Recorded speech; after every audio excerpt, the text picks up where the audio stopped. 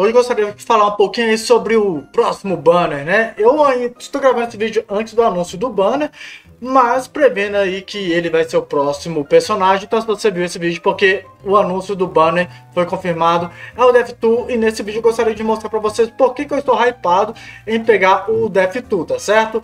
Bem-vindo Cavaleiros Amazonas a mais vídeo aqui no canal do Next Sanctuary Awakening, vamos falar um pouquinho aí sobre o que, que eu achei do Death2, lembrando que eu joguei com ele um pouco aqui no servidor chinês, mas eu não consigo ter um desempenho bom nos duelos sagrados, por causa das opções que eu tenho para PVP. Cara, eu sou tipo nível mínimo no rank, eu enfrento altos galera com time meta, level 70. Parece que ninguém ruxa aqui, então, tipo, eles só fazem missões diárias e eu vivo enfrentando galera de level mais alto. Vamos falar o porquê que eu acho ele um personagem bem interessante, porém também esquipável, tá? Se você não tem gemas avançadas, prioridade é ter sempre aquela meta. O suficiente para rodar o gatinho full na primeira semana. Os cálculos seus sempre tem que dar primeira semana da, de cada mês, né? Tem que ter aí mais 60 gemas. E para dar tiro no banner, você tem que ter aí 400 gemas pelo menos. Para garantir que você não vai gastar suas gemas sem ter que pegar o banner, né? Então, passado essas dicas aí muito importantes para vocês, bora lá falar o porquê que eu quero muito o DevTool. Então não vou explicar como é que ele funciona, porque eu já tenho um vídeo aqui no canal anteriormente mostrando aí como é que funciona o DevTool, tá? Se você quiser saber sobre as traduções, das skills dele. Mas pelas gameplays aqui que eu tenho dele, que eu fiz com ele, né? Cara, o que eu quero mais do DevTool é por causa dessa skill aqui, ó. A pergunta, né? Que a gente não sabe nem qual é a, a tradução. Ela tem um acerto de status, anteriormente era 100%, né? Agora ela começa aí com 50%. Aqui vai ficar tipo assim, level 4 é mais ou menos o chum de Andrômeda, aproximadamente, um Minos da vida. E eu devo deixar ele, tipo assim, eu, normalmente tá, a GT ela deve querer fechar treinamento 2, 3, 3, 3. Aí eu devo deixar ele 1, 2, 3, 1. Inicialmente, 1, 3, 3, 3. Não sei como é que eu vou deixar as skills dele, né? Igual a minha Pandora, a minha comandante Pandora tá 1, 3, 3, 3, 3, 3, 3. E tá suave. Talvez ele deva rodar aí com baixos upskill. Isso aí já é uma coisa bem interessante. Vamos ver aqui se no level 3 aqui ele já vai ter uma chance aí bem interessante. Pegando aqui o Yoga Dourado, que é o combinho que eu quero fazer com ele. Meu Yoga Dourado, ele é 3-1-3-3, né? Ele tem aqui 85% de chance. Seria aproximadamente aí o level 4 do Death 2. Então se você deixar o Death 2 1, 2, 4, 1, por exemplo, você vai gastar 7 livros e vai ter um outro controle aí no seu time. Isso aí é bem interessante. E por que, que eu estou querendo usar essa skill? Cara, lá no servidor global, no lugar do Death2, eu uso muito. Eu estou usando um time agora de Yoga Divino mais Chakra de Virgem. Só que aí eu fico faltando energia, né? 3 de energia aí para usar essa duplinha. E dá para fazer um time com, com, duplo controle mais barato com o Death2 porque ele gasta zero de energia. Então, tipo, eu utilizo o cano de gêmeos para eu controlar aí dois, três alvos, né? Que de virgem normalmente você controlar aí uns dois pelo menos. Aqui eu vou controlar dois ao custo de um de energia e não precisarei usar o cano de gêmeos, por exemplo. Ou seja, vai oferecer mais variedade de controle na minha conta. E isso é muito interessante. Eu posso usar também o Death Tool também com o de virgem? posso usar. Mas aí eu gosto muito de utilizar a Juni, né? A Juni vai ser prejudicada aí. Mas aquele time de sem Juni usando Shun Divino, Shun Sapuri, já daria para usar em um time custo zero e somente o 2 e o Shaq Division de controle, né? Mas não é uma vibe que eu curto tanto assim, não. Então isso aí é um dos principais motivos que eu tô afim do Death 2. Para quem não sabe, eu tô usando aqui, eu tô fazendo teste, né, dele com Elfo de Sangue, mas bora lá. Em resumo dessa skill, ele manda a pergunta pro cara. O cara aceita ser silenciado e tomar um ataque em área, né? Que ele ativa sua skill 2. Ou ele fica exilado dentro do caixão. Ou seja, é muito forte para custo zero. O dano aqui, pelo menos nos multiplicadores aqui e tal, são baixinhos, como vocês podem ver. Não é tão grandes coisas assim. É tipo uma cala do Arayashi na rodada 1, podemos dizer assim, né? 240%, o Arayashi acho que é 220, não me recordo agora. Mas o Arayashi ele vai recebendo buff, né? Conforme vai passando as suas ações. Então, seria mais ou menos isso, né? O, nosso Death Tool. Então vamos fechar aqui essa análise rápida aí do porquê que eu quero o DevTool na minha conta e quem sabe inspirar vocês aí a ver se vai querer ele também ou não, tá? Aproveita esse momento quando tá carregando aí para deixar o seu like, a sua inscrição e se possível compartilhar. E assim, vale a pena ter o DevTool? Cara, hum, ele não seria um top 10 assim, ele estaria, ele não entraria no meu top 10.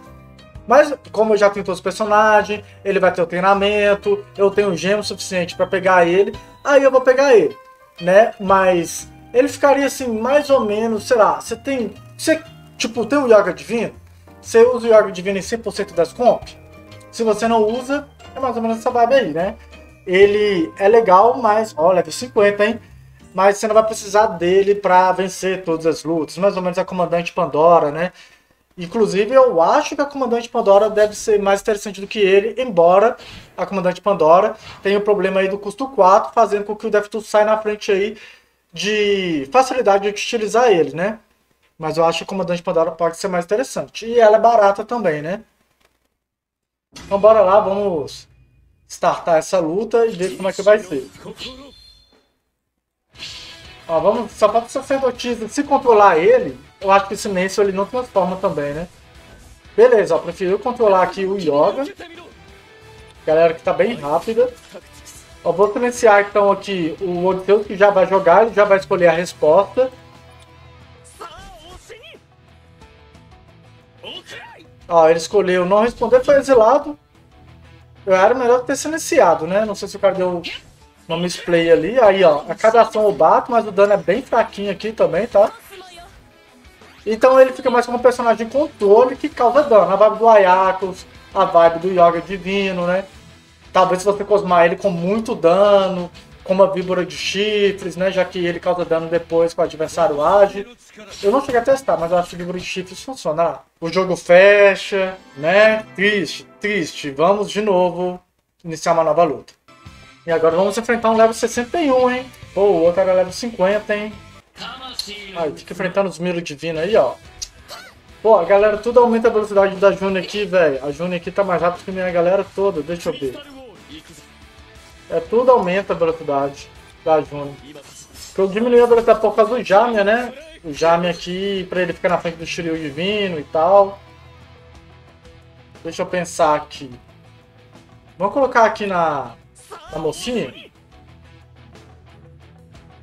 Aí, dependendo se já tomar ataque em área, né? Aí já rebenta ali o Milo e ou consigo congelar o Milo, né?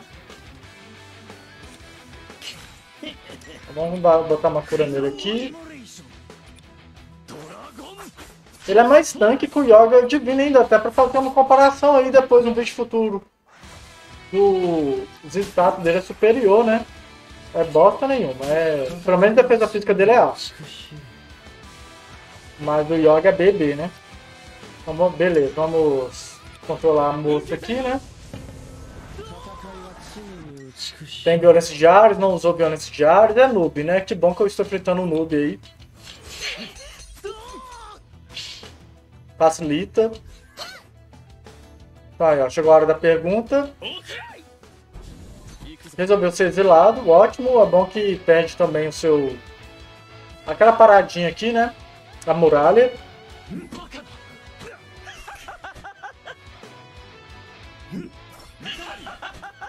Ó, então vamos congelar aqui quem? Yoga Divino mesmo, Almiro vai arrebentar, né? Almiro vai dar um rebento aqui.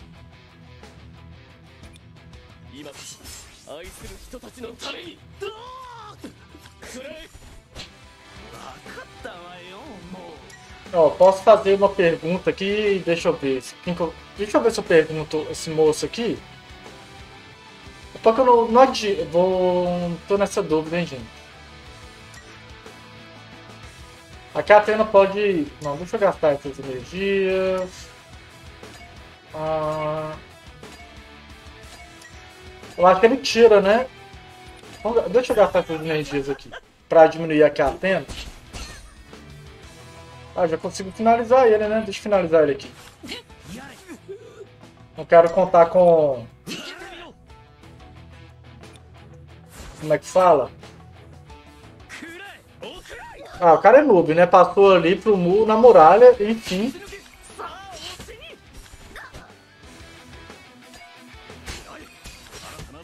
Mas é bom que dá dano pra vocês verem ele mais facilmente, né? Aqui tem limite, eu acho que é 10 ataques que ele dá, alguma coisa assim. Acho que é 7 vezes, acho que é isso aqui, ó. 7 vezes, 7 ações do inimigo ele devolve, né? Vomita aí. Igual já fez ali.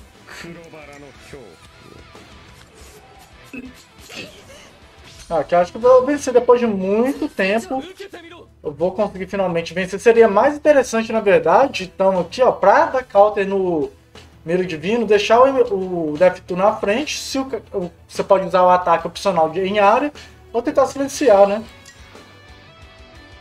Então vamos colocar aqui. Vou fazer ele aparecer. Deixa eu ver se ele vai recuperar a vida. Pô, recuperou vida, velho. Nada a ver. Que não ia cancelar ele aqui, né?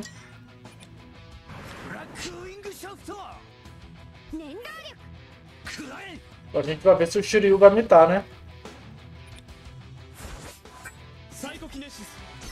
Ixi, agora não sei, né?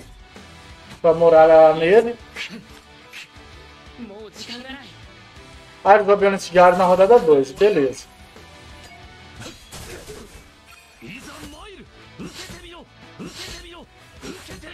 Por 4 ataques. Não tá causando tanto dano assim. Agora vai, ó. Só mais um ataque, eu acho que ele já foi embora. Shiryu, né? A Prodite agora. Daquela mitada. E é isso, um pouquinho de gameplay do Death Tool, tá, galera? Então comenta aí o que vocês acharam do Death Tool. Vocês curtiram a vibe dele ou não. Lembrando, eu não acho ele um personagem tão top, mas também eu não acho ele ruim. Eu acho ele um personagem bom, não estaria no meu top 10. Se eu tivesse começando uma conta agora, com certeza eu não iria atrás dele, né? Primeiro porque ele é focado em PVP, né? Não vejo ele com potencial no PVE. E como opções controle, temos aí o Yoga Divino, que é baratinho no custo de energia, e temos o Chakra de Virgem, que é free to play também, né? E nem precisa de muitos upskill e tem volume de habilidade dele na Arena de On. Então é isso, Cavaleiros Amazonas, esse foi o vídeo de hoje. Espero muito que vocês tenham curtido a vibe do vídeo. Para mais vídeos, vocês estão ligados, tem os indicados nos cards, também terá esses aí na tela.